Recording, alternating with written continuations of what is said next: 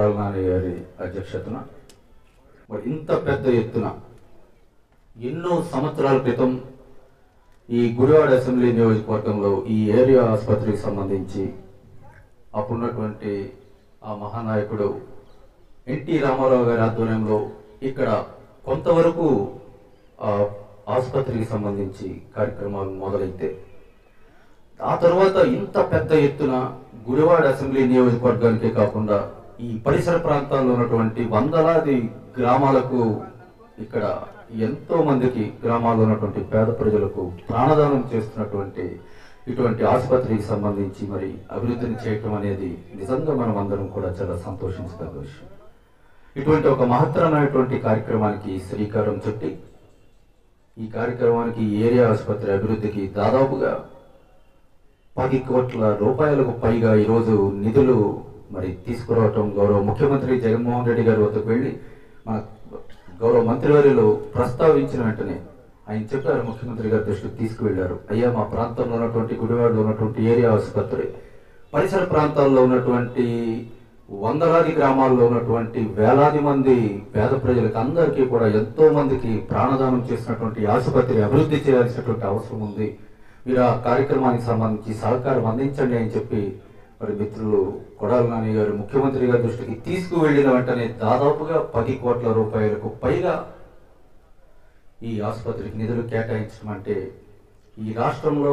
వైద్య ఆరోగ్య రంగాన్ని అభివృద్ధి చేయాలి అన్న విషయంలో మన గౌరవ ముఖ్యమంత్రి గారికి ఎంత చిత్తశుద్ధి ఉందో. నేను అడుగుతా ఉన్నా ఈరోజు నేను అడుగుతా ఉన్నా కొడాల నాని గారు ఏదైనా భూ కబ్జా చేశారా? ఏదైనా పేదవాడి ఆస్తులు దోచుకున్నాడా? అంతకుముందు తెలుగుదేశం ప్రభుత్వంలో మంత్రులు కానీ లేకపోతే అప్పుడున్నటువంటి శాసనసభ్యులు కానీ పార్లమెంట్ సభ్యులు కానీ ఏ విధంగా పేద ప్రజల ఆస్తులను దోచుకుని కబ్జాలు చేసి వారిని నుంచి కూడా బయటకు జంటికి వేసి ఏ విధంగా ప్రజలు అసలు ఆస్తులను దోచుకున్నారో మనకు అందరికీ కూడా తెలుసు. ప్రతిరోజు ఏ వార్తాపత్రిక చూసినా కూడా ఏదో ఒక పేపర్లో ఆ శాసనసభ్యుడు దౌర్జన్యం ఆ మంత్రివర్యుల దౌర్జన్యం ఆ పార్లమెంట్ సభ్యుల దౌర్జన్యం రాష్ట్రమంతా పేకాట పేకాట రాష్ట్రాన్ని ఒక పేకాట శిబిరంగా మార్చినటువంటి ముఖ్యమంత్రి. చంద్రబాబు నాయుడు గారు కాదా అని చెప్పి నేను అడుగుతా ఉన్నా. ఈరోజు ఆయన మీద చేసినటువంటి అసత్య ఆరోపణలకు ఆయన ఆత్మ గౌరవానికి భంగం కలిగి కొంత ఆవేశంగా మాట్లాడితే దానికి సంబంధించి కూడా ఆయన్ని మాట్లాడిన కూడా మాట్లాడ అసభ్య పదజాలం ఉపయోగించేది ఆయన్ని రెచ్చగొట్టి ఆ విధంగా మాట్లాడించేది తెలుగుదేశం నాయకుల కాదా అని చెప్పి నేను అడుగుతా ఉన్నాయన్నాడు ఒక గౌరవ మంత్రి రాష్ట్ర మంత్రి అని చెప్పి ఆలోచన కూడా లేకుండా గౌరవ శాసనసభ్యుడన్న ఇంగిత జ్ఞానం కూడా లేకుండా ఈనాడు ఒక పేకాట మంత్రనో లేకపోతే ఇసుకకు సంబంధించి దోపిడీ చేస్తూ ఉన్నాడనో లేకపోతే ఇంకొక రకంగా ఇంకొక రకంగా ఆయనకి సంబంధించి ఈ విధంగా ఆయన ఆత్మగౌరవం కూడా దెబ్బతినే విధంగా ఆత్మ స్థైర్యాన్ని దెబ్బతీస్తూ ఏ విధంగా ఒక పథకం ప్రకారం ఏ విధంగా కొడాల నాని గారి ప్రతిష్టను దిగదార్చడానికి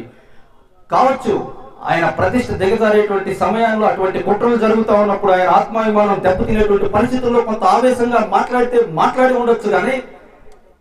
బుడివాడ అసెంబ్లీ నియోజకవర్గంలో ఉన్నటువంటి పార్టీ కార్యకర్తలను కానీ ప్రజలను కానీ నేను ఆలోచన చేయమని చెప్పి నేను కోరుతూ ఉన్నా. ఎక్కడైనా ఒక పేదవాడి ఆస్తిని దోచుకున్నటువంటి సంఘటన కానీ ఒక భూ కబ్జా చేశాడన్న ఆరోపణ కానీ ఎవరికైనా అన్యాయం చేశాడన్న ఆలోచన కానీ ఎక్కడైనా ఉందా? ఆయన చేసినటువంటి పొరపాటు ఏదైనా ఉంది అంటే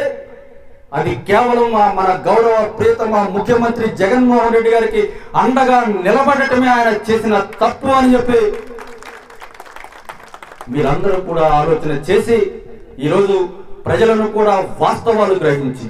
ఎక్కడ ఇటువంటి కొడాలి నాని గారి మీద ఆయన ద్వారా ముఖ్యమంత్రి గారి మీద జరుగుతున్నటువంటి అసత్య ప్రచారాలను దాడిని కూడా కుట్రలను కూడా అడ్డుకోవాల్సినటువంటి బాధ్యత నిజానిజాలను గ్రహించాల్సినటువంటి బాధ్యత మీ అందరి పైన ఉందని మీ అందరికీ కూడా మనవి చేస్తూ